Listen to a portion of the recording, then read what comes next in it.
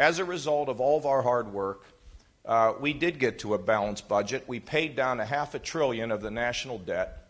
We balanced the budget four years in a row and cut taxes. Now, so what? Okay, good. We balanced the budget. Hooray.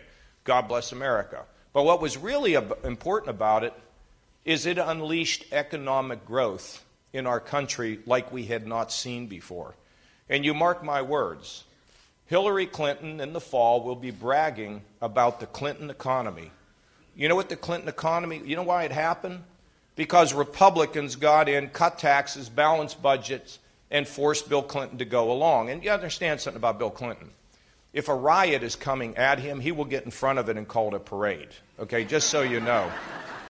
Hey, NBC News fans, thanks for checking out our YouTube channel. Subscribe by clicking on that button down here, and then click on any of the videos over here to watch the latest interviews, show highlights, and digital exclusives.